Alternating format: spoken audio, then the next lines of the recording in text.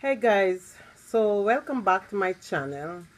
So i want to wish you all happy easter weekend. Now i am going to do some fried fish. Back home on easter we would do fish. So um, let me show you how the fish is that i'm going to do. These are red snapper okay? So what am i doing is put some black pepper with salt and this is a black pepper and salt. And I'm going to put it inside the fish here and over here. So I just gonna just sprinkle a little bit of the um, pepper and salt on the fish here. Now after I do that then I'm gonna fry the fish. And I have to put some season with some vinegar into it. So this is my season here this is all my season that I'm going to put in. So I have scotch bonnet pepper I have um, sweet pepper onion and carrot. And I'm going to put this when I finish with some vinegar and then after the fish finish fry I'm going to put it on the fish. So I hope you guys going to enjoy this video because today is my day for cooking fish. And whenever we do these fish we always call it scaveche fish so after everything i'm going to show you everything. Um, how the fish look what i do to it after okay? So now i have three of the fish that are already fried. So let me show you the three fish that is fried into this um, dish here. This is how it look. So after i finish frying the fish i will show you what the fish look like after i finish fry everything okay guys so and now I finished frying my fish. So let me show you the fish. These are the fish. You have six fish here. So now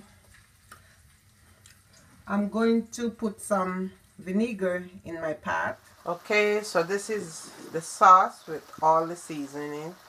Is just cooking down a little bit. I'm just calling all these products to put in my fish here.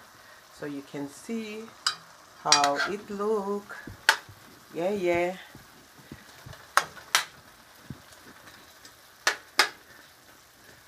This is how I'm doing it guys. It's Easter and you can see just vinegar in it with the season and that's it. I after I fry the fish I throw off the oil so I haven't have any oil into this um, ingredients here that I'm cooking down so you can see how it is here and you can see how everything is boiling there.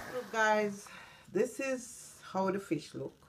So now let's come back with the final showdown of this fish. So these are all the sauce here. And I'm going to put the sauce over the fish with the vinegar. So you can see how it is here. And this is how we prepare our Easter fish from back home. When I was in Jamaica I'm using a big spoon and I'm putting all the vinegar with all the seasoning over it so you guys can see how we do our fish back home. Okay? And this is what we call a scaveche scaveche fish. So this is it. I'm spreading everything over the fish here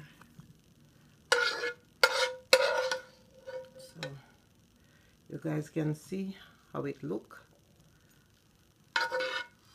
So now I'm going to pour the rest of the vinegar over the fish with all the seasoning in it.